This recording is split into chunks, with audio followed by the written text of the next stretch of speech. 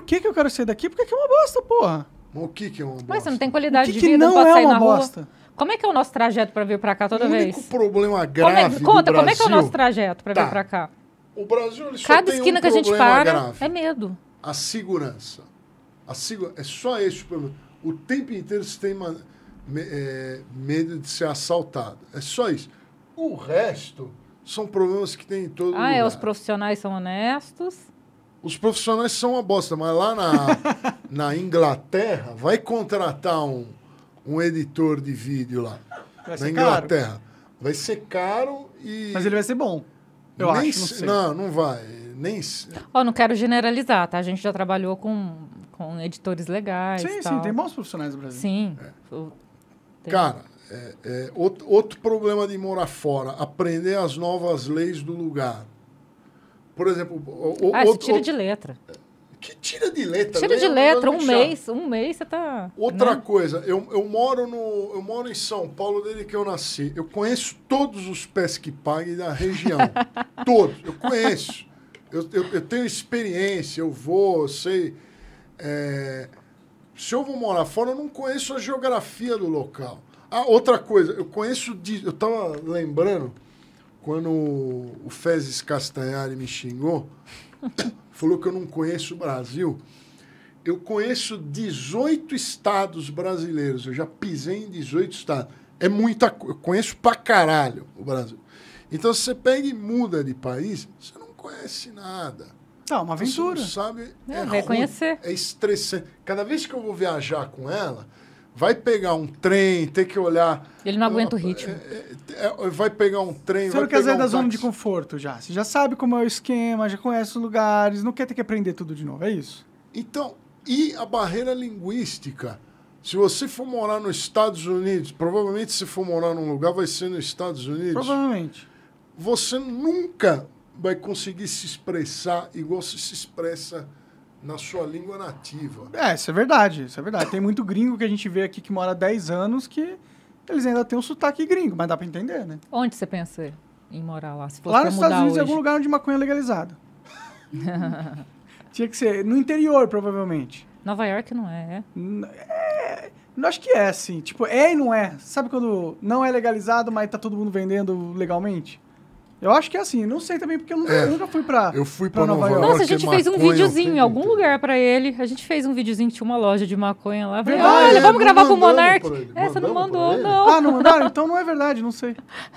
É, é, é, Não, foi na, acho que foi na Suíça. loja. Foi na Suíça. Não, e sabe o que, que tinha? Tinha tipo um caixa eletrônico, assim, na porta da loja que você comprava o negócio ali automático. Muito louco. Caralho, a maconha era em caixa eletrônica. Era tipo É, aquelas- na aquela- porta da loja. De- Caralho! É, que a gente foda! gravou isso pra você, só que esqueceu de te mandar. Vou achar esse vídeo. Depois te me manda, que dá. mandar pra Então, eu quero, por isso que eu quero sair daqui, entendeu?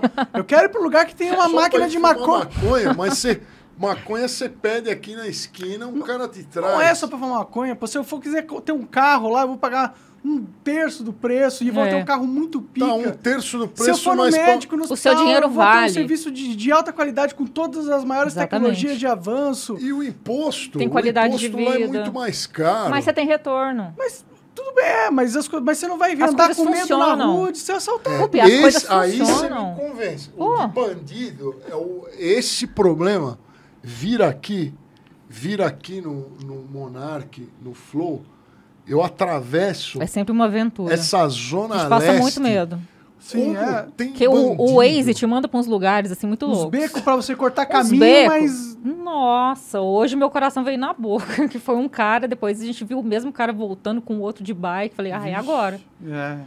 Cara, é muito ladrão. É Sempre, muito toda Então, vez. então, tem todas essas coisas aí, mano. Esse é o problema. que Aí eu- você vai lá, vai estar lá nos Estados Unidos, você vai pedir qualquer coisa na Amazon.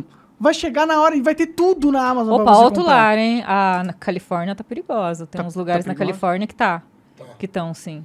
Não, mas eu ia pro interior, não ia ficar em cidade grande, não. Eu ia, queria ser uma cidade bem de interior, bem tranquila, bem Diz o pacata. Texas tá bom. O pessoal da, da Califórnia tá indo pro maconha. Texas. Tem tigre lá, você pode comprar um tigre se você quiser, mas não pode Ah, comprar dá pra maconha. montar um coliseu e jogar os. dá pra montar um coliseu lá e jogar a galera. Aí, Fazer o vocês coliseu. podem fazer um empreendimento lá. no Texas. Mas, cara, se for o problema só da maconha, você deu aí uns problemas, nada demais. O Da segurança é um problema. Não, mas é a Andar qualidade. na rua assim. sem medo. Cara, imagina você E o poder... dinheiro vale, fala porque assim, as coisas "Pô, funcionam. Vou pra Las Vegas, num cassino, jogar um poker muito louco. Não sei se você gosta de poker, mas, por exemplo, tem coisas que dá pra fazer lá nos Estados Unidos que só simplesmente não dá pra fazer aqui no Brasil. Porque não tem. É. Mas jogar pôquer é muito Mas é uma chato. das coisas. Se você é quisesse muito fazer rally chato. com os carros muito foda, ou, ou ver aqueles negócios de, de big truck, ou sei lá, não ser cancelado porque deu uma opinião. Lá os caras estão cancelando pra caralho. Não, Você acha mas- que eles aprenderam a cancelar onde? Mas lá os cancelamentos, tipo, se eu tivesse falado o que eu falei lá, eles não iam nem piscar o olho, porque a lei lá é daquele jeito.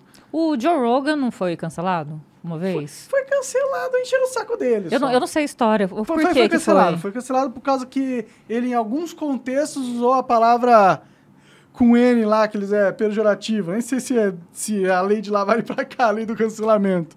Nem fala. É, mas falou essa palavra no contexto explicativo, não usando ele pejor- pejorativamente contra ninguém. Mas aí rolou, por exemplo, ninguém, só os que podem falar essa palavra é, a- são certo tipo de pessoa. Se você não é esse tipo de pessoa, você não pode falar essa palavra em contexto nenhum, nem Gente, tá explicando surreal, sobre né? ela. É, tá surreal. Lá existe cancelamento, sim. Lá realmente veio, veio de lá. A gente importou essa cultura dos Estados Unidos por causa do globalismo.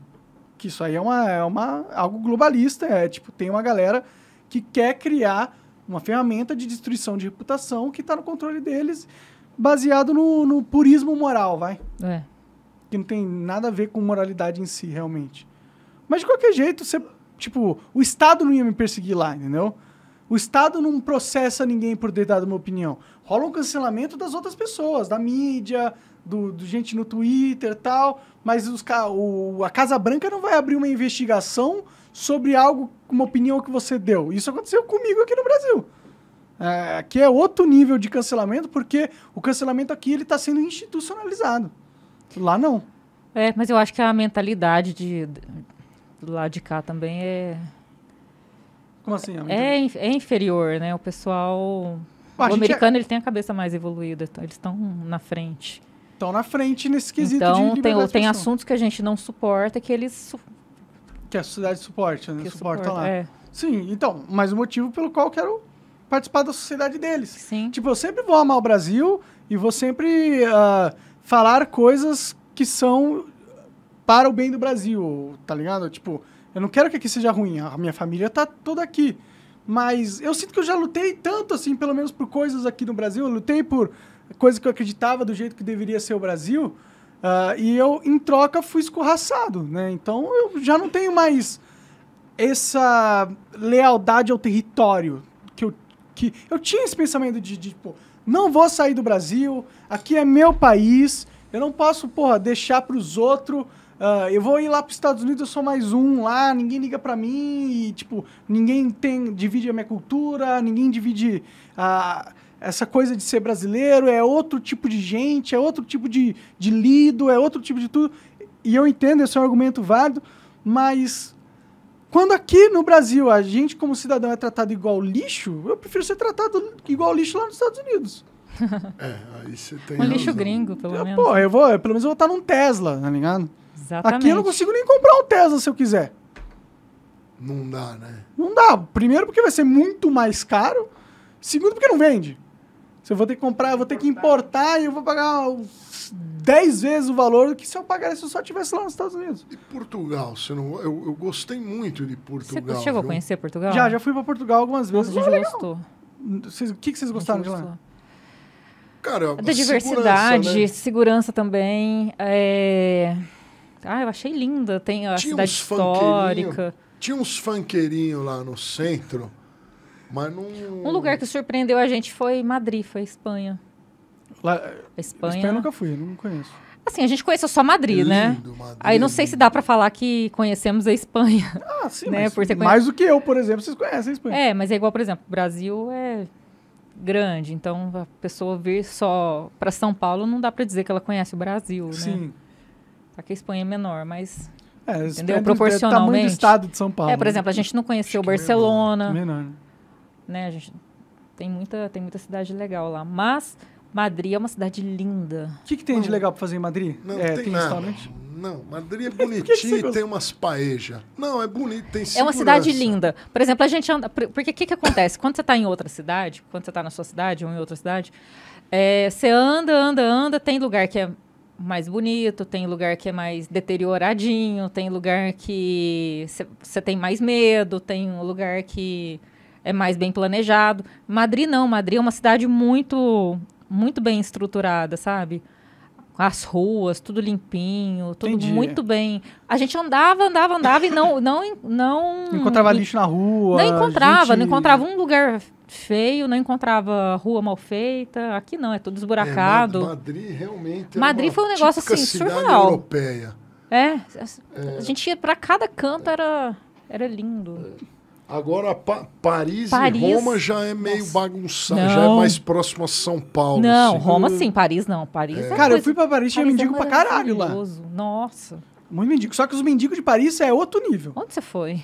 Eu fui pra Paris mesmo. Mas tipo, pra eu tava, eu tava perto do centro, tava do lado do Louvre no Airbnb.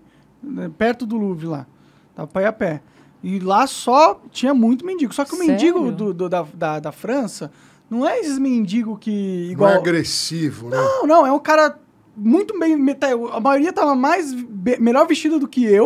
entendeu? Provavelmente falava. Isso, isso Não não, é é difícil. difícil. Não, você falou que não é agressivo e o cara lá da Torre Eiffel.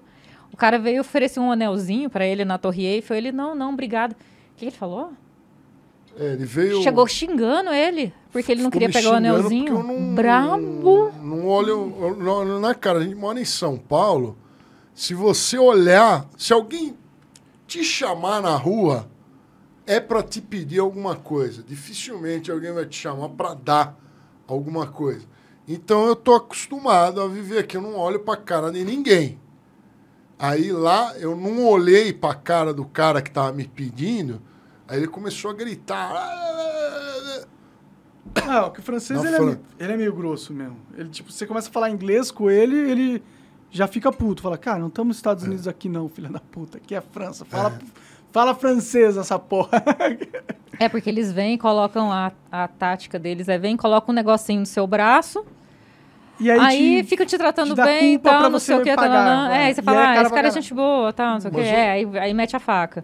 Aí, na hora que, no, nessa, aí a gente já tava vacinado, né, porque a gente já tinha passado por isso, aí, né, ele veio oferecer um negocinho pra ele, ele nem quis colocar. Né, ok, tudo bem, a gente não é obrigado, não, pô. não. Aí o cara já Mas- começou a xingar, na, isso embaixo da Torre Eiffel. Mas, mas uma coisa importante, os funkeirinhos só estão na, nas grandes cidades. Só em grandes cidades que tem funkeirinho querendo aplicar pequenos golpes e assaltar. Na- fora das grandes capitais lá do, da Europa, não tem funkeirinho. Sim, isso é por causa do turismo, né? Os caras sabem É. que turista é, é presa Mais fácil. trouxa. né? Ah, é, ele tá não lá com sabe, dinheiro não pra conhece a gastar com porcaria, E tem isso também, é. né? E eu que fiz uma compra lá com a Roberta. Eu não compro nada quando eu vou viajar. Não preciso de nada. Eu já tenho. Mas aí eu entrei no. Ela fica comprando toda hora. Lembrancinhas. comprar roupa, bolsa. Ah, não, mas é que roupa lá Adoro. tem as roupas Nossa, lá, compensa né? muito. Compensa, eu gosto muito de Zara. E lá é metade do preço. É, Ah, muito, é? é muito barato. Entendi. Aí eu entrei numa loja de, de doces. Uma loja de doces lá. Aí eu gastei acho que 300 300 euros. Caralho, em doce? Em bala, chocolate, marzipan. Marzipan. É, eu comprei um monte, comemos tudo. E sacola. Não, e a sacola foi, foi presa na alfândega. né? Foi presa na Pararam. alfândega. Não, eles ficaram revistando. Ah, porque a gente chegou, foi passar na, na Não, alfândega sim. com, com a sacola cheia de doce. Aí tinha um vidro lá de pistache Aí e tal, não não. Não, aí tiraram tudo de e abriram de ver se tinha pistache. sei lá o que dentro, né? É, era um vidro de Nutella de pistache. Pararam a Nutella de de pistache doce. tipo, Maravilhoso. é um tipo Ficou- de Nutella Não, de- não é Nutella, é um creme de pistache, entendi, mas entendi. que você usa pra passar nas Mas eu fui burra, como é vidro, devia ter colocado na mala, né? Colocou Ah, lá, sim, ó. Aí. custou 8 dólares aquela porra. Aí você jogou- nem, você nem ficou falando disso depois. Que milagre. Hã? Que milagre. Você nem agora Nossa, não lembrando, você vai ficar falando uma semana. Fica chorando quando eu reclamo.